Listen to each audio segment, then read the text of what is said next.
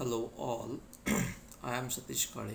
Today I am going to explain the concept from the subject cloud computing and that is the cloud application protein structure prediction.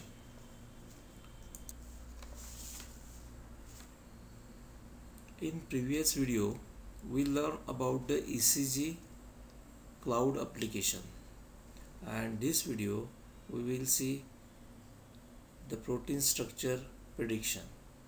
What are proteins? Protein are chain of amino acid joined together by peptide bonds bonds. Manually 3D structure determine is difficult and expensive for protein. Therefore, the structure prediction of protein helps in the design of new drugs for the treatment of a disease. And this prediction takes use machine learning technique for explaining the secondary structure of protein. Now there is one por- portal that is available online for the prediction of structure for protein which is called as the Jeeva portal protein structure prediction. In this figure we can see that the web portal enable is not worry about the prediction. Best all work is general by the cloud service. Machine remit the uh, pattern recognition problem in the three phases. First is initial phase second one is classification phase and third one is the final phase and this phase is execute in parallel to reduce the computational time of the predictions.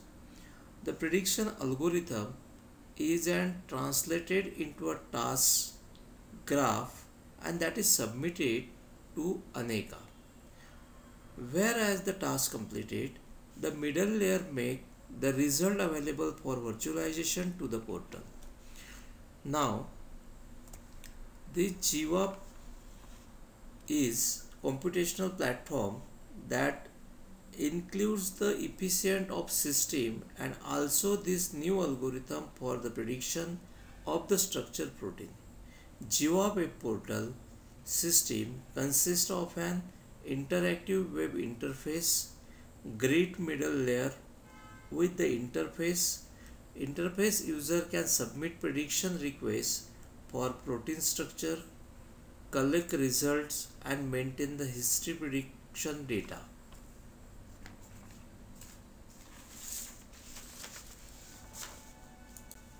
Now, what Aneka?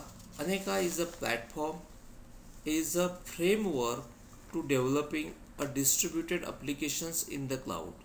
Aneka provides the developers with a rich set of APIs which are used for